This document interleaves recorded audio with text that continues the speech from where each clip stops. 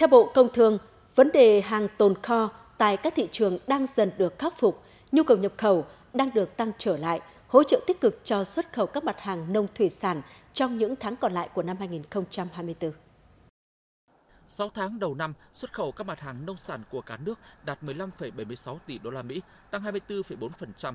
Thủy sản phục hồi nhưng tốc độ chậm hơn, đạt 4,36 tỷ đô la Mỹ, tăng 4,9%.